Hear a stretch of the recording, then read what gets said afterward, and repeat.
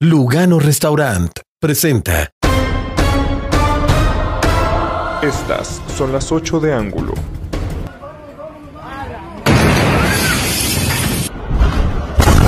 Hasta el momento, un muerto y 17 heridos por la fuerte explosión de gas registrada en la colonia Xochimehuacán, Puebla. Fueron afectadas varias viviendas. Sigue la remoción de escombros en busca de más personas atrapadas.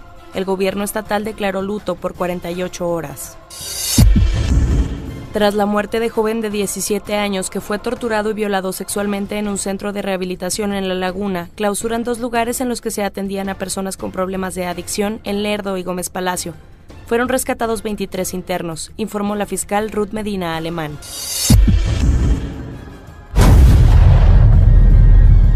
Cierra el mes de octubre con la cifra de 150 suicidios, dos el día de ayer, una mujer embarazada y un hombre de 58 años.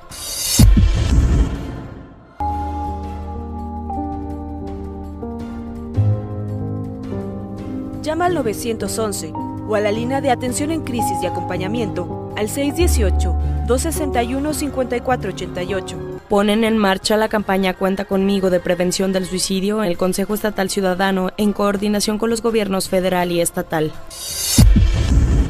Inicia el ayuntamiento programa de bacheo sin la participación de constructores locales. Será con la mano de obra y maquinaria propia, informó el director de Obras Públicas Rodrigo Mijares.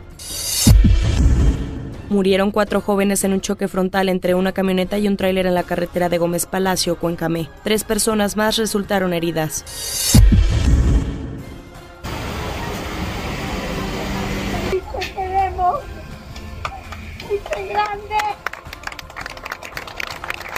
En medio de controversia sobre la forma en que falleció, sepultan al actor de la serie televisiva Vecinos, Octavio Ocaña. Asegura el alcalde Jorge Salum que solo es espectador de los procesos electorales en curso y respetuoso de las decisiones que el PAN tome. Funerales Hernández presentó.